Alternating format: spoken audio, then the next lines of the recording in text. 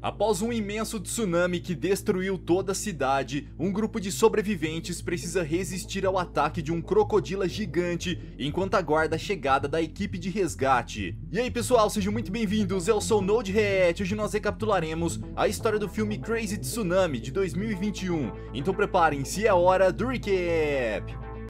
Em uma praia no sudeste asiático, centenas de banhistas estão se divertindo quando de repente uma onda gigantesca se aproxima e todos precisam fugir. Pouco tempo depois, o tsunami chega à cidade e a água invade os estabelecimentos. Três minutos antes desse grande desastre acontecer, Peng está em um caminhão de transporte de crocodilos que pertence à empresa Chayo. O homem e seu parceiro estão a caminho de Chinatown quando são parados por um grupo de protestantes que é formado pelos moradores locais. Os ativistas culpam as indústrias Chayo por cortar o fornecimento de água e eletricidade para sua região. Dentre eles está Xiao Hu, a filha de Peng, juntamente com alguns de seus amigos e vizinhos. Furioso, o homem tenta levar a jovem de volta para casa, mas Xiao Hu se recusa a acompanhá-lo e afirma que agora que já tem 18 anos, é capaz de tomar suas próprias decisões. Nesse momento, um terremoto acontece e um grupo avista o tsunami se aproximando. Rapidamente, todos tentam fugir, mas são engolidos pela água. Minutos depois, os poucos sobreviventes procuram uma forma de sair daquele lugar alagado, e Peng está procurando por sua filha quando o motorista do caminhão revela que o crocodilo que estava sendo transportado saiu de sua jaula. Quando encontram Xiao Hu, o homem verifica se a jovem está bem, e San Mao pergunta o motivo deles não terem recebido nenhum aviso alertando sobre a chegada de um tsunami. O rapaz desconfia que Chayo, chefe de Peng, é o responsável por isso, e nesse instante, o crocodilo faz sua primeira vítima. Ao ver a mulher sendo devorada, Peng ordena que todos fiquem parados para que a criatura não possa detectá-los. Porém, quando nota que o monstrengo está nadando em sua direção, o motorista se prepara para atacá-lo, mas muda de ideia ao perceber que o crocodilo não conseguiu detectar sua presença. Então ele se afasta lentamente e nesse instante a barra de ferro que está em suas mãos bate em uma grade de metal e o barulho atrai a atenção do predador. Enquanto o homem é devorado, os outros sobreviventes tentam abrir a porta do mercado e por pouco conseguem entrar antes de serem devorados. Ermal é o único a ficar para trás, pois tenta recuperar seus pertences que ficaram na moto, e também acaba sendo eliminado. Depois de devorá-lo, o animal tenta invadir o supermercado para eliminar todas aquelas pessoas, mas é atacado e o grupo se une para bloquear a passagem. Sendo assim, o monstrengo procura outra forma de entrar no estabelecimento e vigia suas presas através de uma porta de vidro. Enquanto isso, na capital, os jornalistas pressionam Chayo para prestar ajuda às vítimas do tsunami, e o homem afirma que já enviou algumas equipes de resgate para a costa. Quando questionado sobre o que é aquele monstro tenebroso que está tentando caçá-los, Peng afirma que o nome do crocodilo é Gustavo, e por já ter devorado centenas de pessoas, ele ficou conhecido como o Rei dos Caçadores. Segundo Peng, seu chefe levou muito tempo para capturá-lo e queria levá-lo a Chinatown para torná-lo um marco da cidade. Ao ouvir isso, San Mao pega uma faca e afirma que irá eliminar aquele animal. No entanto, Peng o proíbe de sair, pois isso colocaria a vida do restante do grupo em risco. Caso o crocodilo consiga entrar quando San Mao abrir a porta, todos serão eliminados. Apesar disso, o rapaz continua decidido a seguir o seu plano e ameaça Peng para deixá-lo sair. Nessa hora, Xiao Hu se aproxima para tentar acalmar seu amigo e acaba levando um golpe no rosto. Furioso ao ver sua filha machucada, Peng ataca o homem e vai ajudar a garota. Devido ao nervosismo, Xiao Hu começa a sofrer uma crise de asma, e o Dr. Shen tenta acalmá-la. De repente, todos escutam um barulho estridente e percebem que a porta de vidro começou a rachar. Então Ziming pega um par de óculos de mergulho e coloca a cabeça debaixo d'água para verificar o que está acontecendo. Só nesse momento os sobreviventes se dão conta de que o crocodilo está tentando quebrar o vidro para invadir o estabelecimento e chegam à conclusão de que a única chance de sobreviver é chegando ao segundo andar. Como todas as portas estão trancadas, o Sr. Lee tem a ideia de usar a tubulação para ir ao escritório do estabelecimento e pegar a chave. Nesse instante, Sam Mao se oferece para o trabalho e o Dr. Shen afirma que irá acompanhá-lo, apesar dos pedidos de sua esposa para que ele não vá. Na esperança de encontrar um remédio para sua filha, Peng também decide ir atrás deles. Enquanto San Mao fica de vigia para evitar que o crocodilo se aproxime, o Dr. Shen vasculha os armários e após encontrar uma bombinha para asma, ele a entrega para Peng. O homem então rasteja pela tubulação para dar o medicamento nas mãos do Sr. Li e pede que ele cuide de Xiao Hu. Em seguida, retorna para o escritório e aguarda enquanto Shen procura pela chave. Após encontrá-la, o médico sobe as escadas e retorna para a tubulação. San Mao está logo atrás dele, mas percebe uma movimentação na água e se prepara para o ataque. Nesse momento, o rapaz é abocanhado pelo crocodilo e Peng ajuda o Dr. Shen a subir. Porém, antes que o médico pudesse chegar a um local seguro, Gustavo morde suas pernas e o arrasta para a água. Apavorado, Peng se arrasta de volta para o armazém, enquanto tenta se esquivar dos ataques daquele animal monstruoso. Quando reencontra o restante do grupo, ele precisa dar a terrível notícia de que seus companheiros não conseguiram sobreviver, e a senhora Shen entra em desespero ao descobrir que perdeu seu marido. Apesar de saber que centenas de pessoas estão precisando de socorro, Chayo está almoçando tranquilamente em sua mansão. Nesse momento, sua secretária chega com a notícia de que o crocodilo que ele capturou estava a caminho de Chinatown, quando foi pego pelo tsunami e agora está à solta, eliminando todas as pessoas que cruzam seu caminho. Ao invés de se preocupar, o homem fica feliz com a notícia, pois descobre que todos aqueles que estavam se opondo a ele numa manifestação se tornaram presas do animal. Então, Taná diz que seu chefe recebeu uma ligação importante e passa o telefone para que ele possa falar com um parceiro de negócios do exterior. Quando escuta a voz do empresário, o americano afirma estar orgulhoso da forma como Chayo lidou com seus opositores, pois usou um desastre natural para se livrar deles. Algumas horas se passaram e Peng está convencido de que seu chefe enviará uma equipe para resgatá-los. Quando vê alguns caras se aproximando em um bote, todos começam a bater na porta de vidro para pedir ajuda. Porém, os dementes estão mais interessados em saquear as lojas ao redor do que em salvar os sobreviventes. No entanto, quando um dos membros da equipe de resgate se aproxima do estabelecimento, o monstrengo o ataca e Shao corre para retornar ao barco, mas também é devorado no caminho. Shea é o único sobrevivente e tenta remar para longe, porém o crocodilo ataca seu barco e quebra o vidro do supermercado, abrindo uma passagem para que ele possa entrar. Em seguida, Gustavo destrói a embarcação e Shea cai na água. Em ao desespero, todos abandonam o estabelecimento. Ao invés de acompanhar o restante do grupo, a senhora Shen decide ficar para trás e fecha a porta na tentativa de prender o animal lá dentro, junto com ela.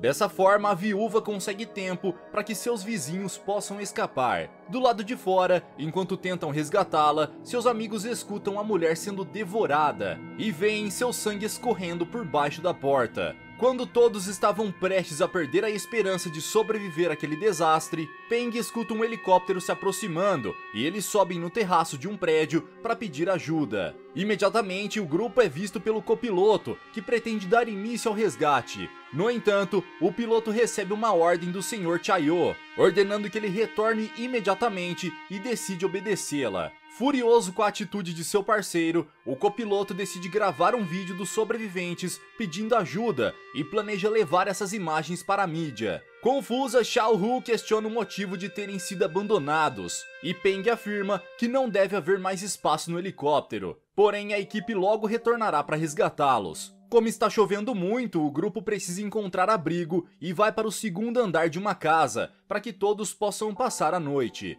De repente, She entra no quarto e informa que o nível da água está subindo, o que facilitará a chegada do crocodilo. Sendo assim, o Sr. Lee diz que a única esperança que eles têm de sobreviver é chegar à caixa d'água que abastece a região e que, por sorte, não fica muito longe dali. Após amarrar uma pedra na extremidade da corda, She tenta arremessá-la na caixa d'água, mas não obtém sucesso. Então, Zimin decide tentar a sorte e acerta em cheio seu alvo. Rapidamente, She amarra outra extremidade da corda em um cano de metal, e Peng é o primeiro a atravessar, arrastando seu corpo pela corda até chegar ao outro lado. Durante o percurso, o homem perde seu sapato e quase cai na água, mas consegue se agarrar novamente e chega à torre em segurança. Em seguida é a vez de Xiao Hu atravessar, e a jovem sente grande dificuldade de se arrastar pela corda em meio à chuva, especialmente depois de perceber que o crocodilo está logo abaixo esperando para devorá-la. Quando percebe que a água está subindo em alta velocidade, Xie se desespera e após derrubar o Sr. Li, se agarra a corda para atravessar, mesmo sabendo que Xiao Hu ainda está na metade do caminho. Imediatamente, Zimin ajuda seu pai a se levantar, e o velhote segura a corda para impedir que ela se parta ao meio. Do outro lado, na torre, Peng segura a outra extremidade e fica furioso ao ver que o demente está tentando derrubar sua filha para poder atravessar. Devido ao peso dos dois corpos, a corda acaba se desamarrando e Xie cai na água. Xiao Hu também está prestes a cair, mas o Sr. Li e seu filho conseguem agarrar a corda e erguem a jovem. Nesse momento, Xie se debate na água e grita por socorro, atraindo a atenção do crocodilo. Não demora muito até que o rapaz seja atacado e seu corpo é despedaçado pelo animal. Novamente, Xiao Hu consegue se pendurar e, com a ajuda de seu pai, é capaz de chegar à torre. Um novo tsunami está se aproximando e só há tempo para mais uma pessoa atravessar. Então o Sr. Lee convence seu filho a ir na frente, com a promessa de que logo irá encontrá-lo. Apesar de sofrer com a despedida, Zimin decide obedecer ao seu pai e sobe na corda com o objetivo de chegar ao outro lado. Enquanto isso, o Sr. Lee usa todas as suas forças para puxar a extremidade da corda e impedir que seu filho caia na água. Agora o velhote é o único que falta atravessar e seus amigos insistem para que ele tente se salvar, mas Lee sabe que não há mais tempo. E antes de ser levado pelo tsunami, pede que Peng proteja seu filho. Com o vazamento das imagens dos sobreviventes pedindo ajuda, o senador é pressionado pelos jornalistas para tomar alguma atitude, e Chayo é acusado pela mídia de causar a morte dos moradores de Chinatown.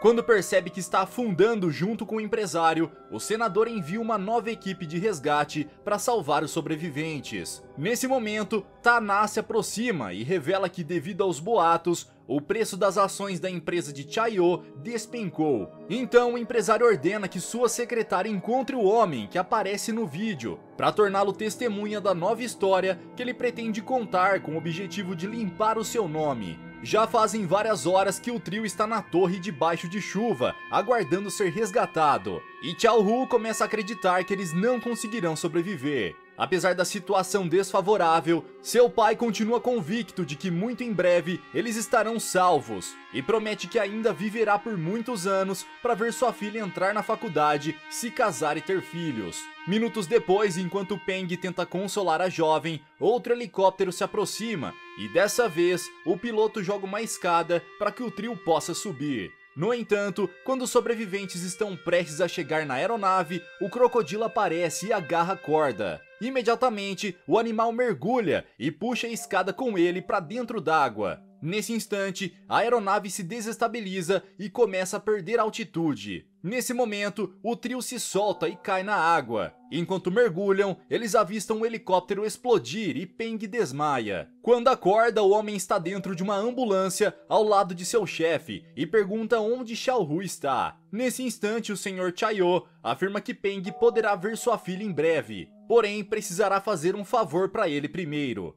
O empresário então diz que seu funcionário terá que assumir a responsabilidade por cortar o sinal e atrasar o aviso sobre o tsunami para os moradores da região de Chinatown. Além disso, Peng também terá que se responsabilizar por libertar o crocodilo que causou inúmeras vítimas durante a inundação. Ainda confuso com o que acabou de ouvir, o homem não aceita o acordo, mas Chayo afirma que esse é o único jeito dele rever sua filha. Por fim, promete que após fechar aquele acordo, Peng receberá uma quantia em dinheiro capaz de cobrir suas despesas para o resto da vida. Quando chegam à capital, o empresário é recebido como um herói e aclamado por uma multidão que o admira por salvar inúmeras pessoas que sobreviveram ao tsunami. Ao ser questionado a respeito do monstro devorador de humanos, Chayo afirma que seus homens foram capazes de capturá-lo e mostra à multidão o crocodilo preso em uma jaula. Em seguida, apresenta para todos o culpado por libertá-lo. Nesse momento, Peng tem a oportunidade de se apresentar e afirmar ser o homem que estava pedindo socorro no vídeo que viralizou na internet. Ele começa seu discurso se responsabilizando pela fuga do crocodilo e pelo desligamento da torre de sinalização de Chinatown. No entanto, logo depois, afirma que o verdadeiro culpado por tudo isso foi Chayo, que fez de tudo para que Chinatown fosse desabitada, para que ele pudesse tomar posse da região. Nessa hora, um áudio é emitido pelos alto-falantes da cidade e revela uma conversa que o empresário teve com Peng, na qual ele o ameaçou e coagiu seu funcionário a mentir. Imediatamente, o senador sobe no palco e revela estar por trás das gravações. Em seguida, ordena que os policiais prendam o demente. Porém, antes de ser algemado, Chayo toma uma atitude desesperada e, através de um controle remoto, abre a jaula onde o crocodilo está preso. Apavorada, a multidão se dispersa e as pessoas precisam fugir para não serem devoradas. Antes que Chayo fosse preso, Peng pergunta onde sua filha está e o empresário afirma que ele foi o único sobrevivente. Enquanto o crocodilo corre pelas ruas da cidade espalhando caos por onde passa, Peng está de luto por descobrir que perdeu sua única filha. Nesse momento, o homem tem a ideia de usar o rastreador de seu celular para tentar localizar o relógio de Zimin e descobre que ele está a poucos metros de distância. Ao acordar, Xiao Hu não faz ideia de onde está e caminha com dificuldade para verificar se Zimin continua vivo. Apesar do ferimento em seu abdômen, o rapaz ainda está respirando. Então ela começa a gritar por ajuda, pois escuta algumas vozes vindo do andar de cima. De repente, Xiao Hu ouve um barulho e percebe que alguém está se aproximando. Então tenta acordar seu amigo para que ambos possam fugir. Como Zimin não se levanta, ela decide arrastá-lo para um esconderijo e se surpreende ao ver seu pai se aproximando. Imediatamente a jovem corre para abraçá-lo e pede sua ajuda para levar Zimin para o hospital, pois ele está gravemente ferido. Quando estão prestes a sair pelo túnel, pai e filha escutam um crocodilo se aproximando e tenta se esconder. Acreditando que está sozinha, a fera se deita para descansar e a dupla rasteja lentamente com Zimin nos ombros. Eles estão prestes a conseguir escapar quando o monstrengo percebe sua presença e tenta atacá-los novamente. Porém, mais uma vez o trio consegue escapar e fica cercado atrás dos canos de esgoto enquanto Gustavo tenta devorá-los. Nesse instante, Peng diz que irá distrair o animal e pede que sua filha fuja com Zimin. Xiao Hu tenta impedir o seu pai, porém o homem está decidido a salvá-la, mesmo que para isso ele tenha que arriscar a própria vida. A fim de honrar o sacrifício de seu pai, Xiao Hu reúne forças para fugir com seu amigo, enquanto o braço de Peng é abocanhado pelo crocodilo, que consegue arrancar o membro facilmente. Após devorá-lo, Gustavo vai atrás da garota e Peng mais uma vez se levanta para defendê-la. No entanto, antes que ele pudesse golpear o monstro, a criatura o arremessa para longe com sua cauda e o homem desmaia. Então, com o objetivo de salvar a vida de seu pai e eliminar o crocodilo, Xiao Hu pega uma barra de ferro e usa o objeto para perfurar o crânio do animal durante o ataque. Agora que o predador foi destruído, a jovem tenta reanimar o seu pai, mas Peng não acorda. Aparentemente, Xiao Hu é a única sobrevivente e se desespera ao perceber que perdeu todas as pessoas que mais amava. Nesse momento, a garota se lembra dos bons momentos que viveu ao lado de seu pai e se arrepende de tê-lo causado tantos problemas. Doze meses se passaram e Zimin passou a morar com Xiao Hu. Juntamente com Peng, os três sobreviventes formam uma família, agora mais unida do que nunca. Como planejado, Xiao Hu conseguiu entrar para a faculdade e seu pai pôde estar presente nessa nova fase da vida da garota. Ao olhar para uma foto na parede, Peng se lembra de todos os amigos que perdeu no tsunami e sente gratidão por ter vivido bons momentos ao lado daquelas pessoas. É galera, o que vocês acharam dessa história e qual estratégia vocês usariam para sobreviver ao ataque de um crocodilo gigante durante um tsunami? Deixa aqui embaixo nos comentários. Vejo vocês no próximo recap aqui do canal. Até lá!